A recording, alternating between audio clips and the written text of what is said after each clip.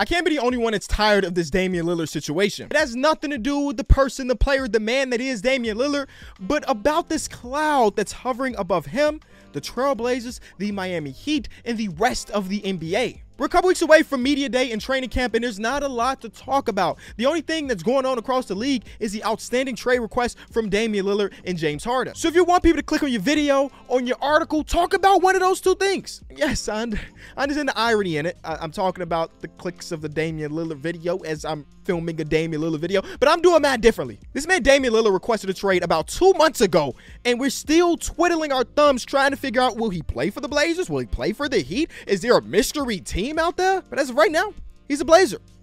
And there's there's a reason for that. When Damian Lillard requested a trade, he gave the Portland Trailblazers a short list of teams that he would like to go to. This is not a new practice for NBA players. It happens all the time, especially when a star player requests a trade. The only difference is usually that list is three teams to five teams. Damian Lillard said, hey, it's Miami or nothing. He is so on Miami that this man is reposting things on Instagram of people calling him a future Miami Heat, and he's cool with it for about 17 minutes, and then he takes it down. But but for 17 minutes, that's up. But when you have a player with a short list of one team, it makes things 10 times more difficult because the Miami Heat are 100% interested in Damian Lillard. This is a team that has been to multiple NBA finals, multiple conference finals over the last couple years. You look at their roster and you think if they just had a Damian Lillard, they would have an additional championship. So they're interested. Problem is the trade package that they have is not as good as the Trailblazers want. You got to remember the Portland Trailblazers are potentially trading the best player in their franchise history no lower than the second best player in their franchise history. You trying to explain to them that he's worth Tyler Herro and a couple first round picks in 2028? The Blazers, it's not enough. And that's how we get to the point right now where we got this stalemate where everybody's looking at each other waiting for something to happen. I would deem myself a Damian Lillard fan, not a super fan like some people I know. But I had grown to become a Damian Lillard fan. For the first reason is he's a demon on the court. The, the, the, brother, the brother dropped 71 points in an NBA game earlier this season and made it look extremely, extremely easy. But deeper than that, I was a fan of Damian Lillard's branding and mindset. Not running from the grind had been so much of Damian Lillard that it became a meme that people said, no, Dame, maybe you should run away from the grind because you not running is resulting in first round exits, second round exit, and so on and so forth. And the reason that resonated with me is you don't get a ton of star level players in smaller markets that are willing to spend their entire career with one team. And until he actually requested a trade a few months ago, I was under the assumption that Damian Lillard was going to be one of those few one team guys. Look at the top players in 2023 majority of them, a great majority of them, have already been on multiple teams in their career. And the few players that haven't changed teams that are really, really good are either really young, like a Luka Doncic, or they have a championship. Steph Curry, Warriors for life, probably multiple championships. Nikola Jokic got his first NBA championship this season, and he might add a couple more. Seems like a guy that might be a one-team guy. And then Giannis, I was feeling the same way, but that man Giannis has been yapping a little bit this offseason, so we don't really know what the future of Giannis looks like. But the top players that are one-team guys typically have a championship under their belt, and Dame doesn't have that. I say typically because Joel Embiid still don't got one. He, he might also be on the trade block soon, but that's another video. I hate the way we gauge player success rating in the NBA. It's all ring based. If you have zero rings, were you really a winner? And I think in a vacuum, you could look at it that way, but there are so many different factors to winning a championship that I can undoubtedly say that Damian Lillard is a winner, though he has never even touched an NBA Finals floor. What do you mean? He has been a stellar performer in the playoffs as long as you exclude the one series against the, the Pelicans where Jrue Holiday, Rajon Rondo, and Anthony Davis upset them. That was one of my favorite series uh, a couple years ago. But other than that, this man has been nothing but great come playoff time. He's been so great that he's got two of the most iconic playoff game winners ever.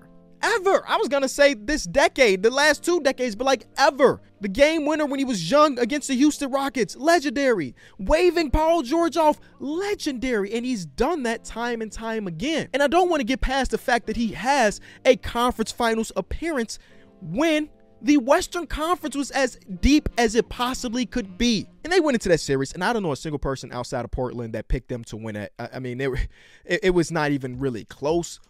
But still that team could could have potentially been good enough to win it, but been playing in the wrong era, in the wrong season, whatever you want to call it. He has that. There are a lot of great NBA players that have never graced a conference finals, and he's done that in Portland. So when he officially requested his trade, I didn't feel like he was forgetting about his branding of running from the grind and so on and so forth because it's been a decade of this and he deserves better. But better can mean multiple things better doesn't just mean the Miami Heat. This is a classic case of having your cake and eating it too, or trying to make that the case. Because I have no doubt in my mind that if Damian Lillard was open to going to some of these other teams, that they'd have a better offer for him. Again, I mentioned earlier that if you want clicks, talk about Damian Lillard. And I feel like in the last 72 hours, there have been so many reports around him that it's hard to differentiate what is fact and what is fiction. The first one is that if another team outside of the Miami Heat ended up pulling off the trade for Damian Lillard, that he would not even report to training camp. Whoa. And that, that's coming from Shams Charania, who's one of the two most trusted sources in all of basketball reporting that. And I, I got to pray that this is just a leverage pull from Damian Lillard in his camp because this dramatically changes the way he is viewed as an NBA player across the landscape of fandom. I think most people recognize that Damian Lillard is a damn good basketball player. I think most people respect the fact that Damian Lillard was willing to stay on the organization for a decade, even though they had struggled to put real talent around him. But if he got traded to another team that's not the Miami Heat, and he decided, no, I don't I don't want to do this, all of not all of a good chunk of that respect is thrown out the window for NBA fans. Again, I'm just hoping that it's a leverage play. Looking at the other 28 teams around the league, said, "Don't you dare trade for me, be- because I might not report." But he don't mean it.